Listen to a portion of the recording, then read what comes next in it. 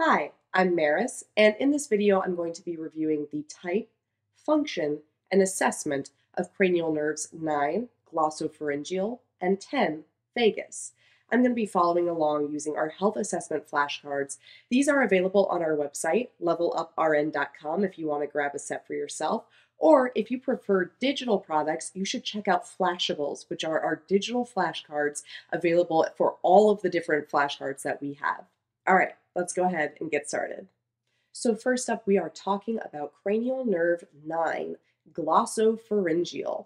And although you may not feel like this one tells you what it is, it does. Glosso is a word that refers to the tongue, and pharyngeal refers to the pharynx. So glossopharyngeal is a nerve that has a function associated with the tongue and the pharynx. Now, when we talk about the sensory function of this one, we have this one is mixed. We have sensory and motor function.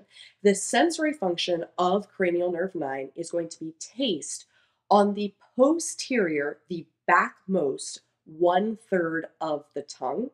And then the motor function is going to be the gag reflex, pharyngeal muscles, such as those involved in swallowing and producing speech, and the parotid glands function. Um, so there, you got to remember, taste is just that posterior one third of the tongue. Uh, it is not the entire tongue.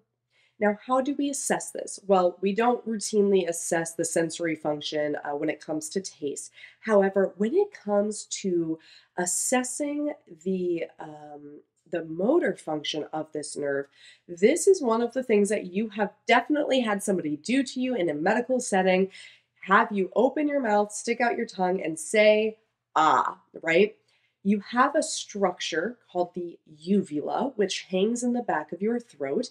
And so saying ah is actually, there's an assessment purpose to it. It is to see if the uvula rises midline on phonation, which is a very fancy way of saying that when I say ah, you should be able to observe that my uvula rises and it rises midline, meaning it is not rising to the left or to the right, it's going straight up the middle when I phonate, when I make a sound such as ah.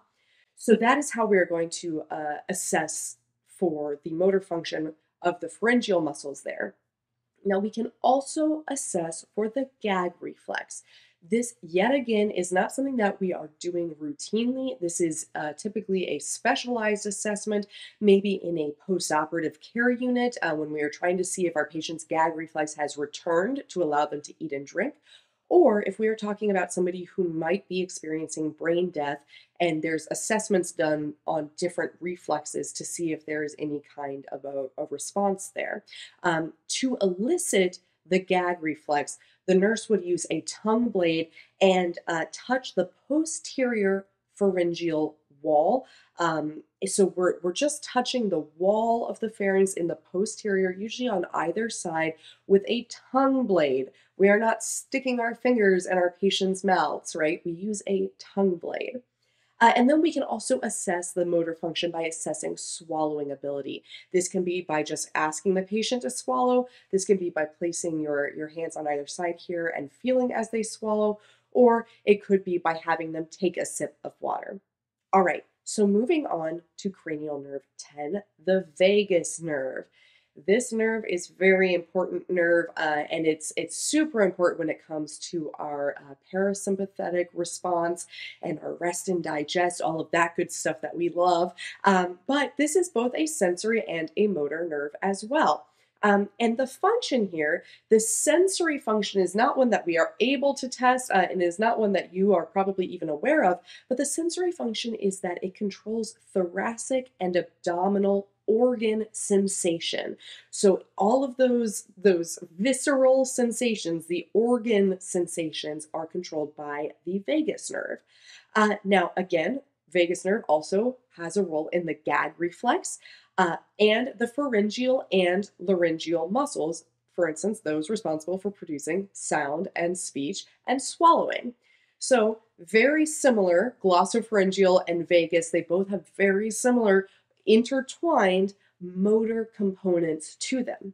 So, how do we evaluate it? We're going to evaluate it with cranial nerve 9 glossopharyngeal because they have the same function. So, when you are evaluating cranial nerve 9, you are also evaluating the motor function of cranial nerve 10. Very, very nice and easy that way.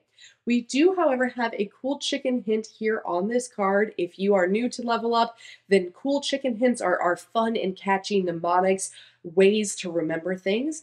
And this one is a little bit long, but it's a good one because it helps you remember all of these functions.